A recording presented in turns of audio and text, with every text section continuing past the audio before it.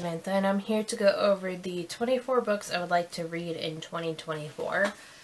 Just to preface this all all this, I am not going to go into detail about what each book is about because there's 24 books and I'm just looking at my uh, spreadsheet for reference. I don't have the synopsis pulled up for these books. And quite frankly, I don't think I can stand to hear myself talk for that long, so we will try to see how well I can be easily comprehensible in, in this video. But my plan for making these videos like going in the future is whatever like trying to pick one book from past lists and adding it to this TBR so book one is doing just that. It is Hocus Pocus in the all-new sequel uh, by, uh, being released by Disney. I have yet to read this book. No particular reason other than I just haven't gotten around to it. So that is being carried over from last year to this year. Book two is I Am Madam, X by Gioia uh, Di probably butchering it. This is another book that has been on and off TBRs all in the past. You may have heard me talk about this. I have a copy of it, actually just behind me, um, that I would like to try to get to, and hopefully in the month of January I'll actually get to it, but we will see. Book 3 the Laments by George Hagen. This is a like generational type of novel that I also own and that has also been on past TBRs. Another one that we'll see actually gets if it gets read or not. Four, Diana Gabaldon's The Outlander book. I or this just starting the series period. I know there's at least five or six of these books now. I've heard good things about them. I do enjoy historical fiction from time to time. Um, this has some time travel mixed in as well, so I'm hoping that I enjoy it as I um, enjoy other historical fictions. Book 5, Legend by Marie Lu. I received a copy of this book from my friend Alisha with Books and Things with Alisha, and I keep meaning to read this these books and do a actually a series vlog with them. Eventually I'll get to it, so I'm hoping by putting them on this list I actually get to it.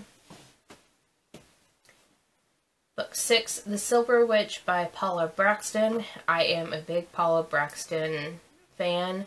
Um, if you're new this, to this channel, I've read quite a few of her books, and a couple of her books has been on So Mote It Be book club picks. So I am pretty excited about getting to another one of her books and diving into her worlds again. 7. Gone Girl by Gillian Flynn. This is a well-known thriller novel that I'm sure everybody is aware of.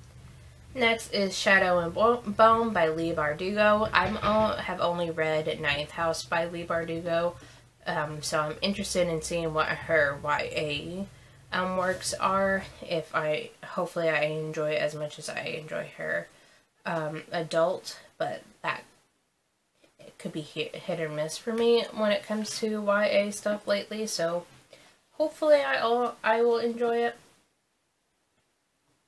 Next is Ready Player One by Ernest Cline. I watched the movie quite a few years ago and enjoyed it, so I would like to read the source material and see how they compare. Next is Strange the Dreamer by Laini Taylor. This is another well-known like booktube darling that I would like to kind of take a swing at. The Goldfinch by Donna Tartt which is a. Honestly, I've heard the title bounded about, like, thrown around from time to time, but I don't really know what all this book is about. Um, I did when I first put it on my, like, want to read list on Goodreads, but it's been a while now since I had done that, and I just don't remember what it's about, so I'll Be Going in Blind. The Girl on the Train by Paula Hawkins. I believe I read one other book by Paula Hawkins and enjoyed her writing, so I would like to give her another try. Every Heart a Doorway by Seanan McGuire. This is also a well-known, well-loved series that I just am now getting around to dipping my toes into, so I am hoping that this lives up to the hype for me. Little Fires Everywhere by Celeste Ng. I read oof, I read one of her books earlier in 2023. I'm blanking on the the name of it. But I heard so much about this and I'm interested in watching I believe it's the Hulu adaptation later on as well because it um it's like a contemporary another contemporary like generational type of story. Then we have The Seven Husbands of Evelyn Hugo by Taylor Jenkins Reid. But yeah, Mocha agrees. Be the first time I would read this one, and I heard that this book is a pretty good start to get into her works. Then we have Sourdough by Robin Sloan.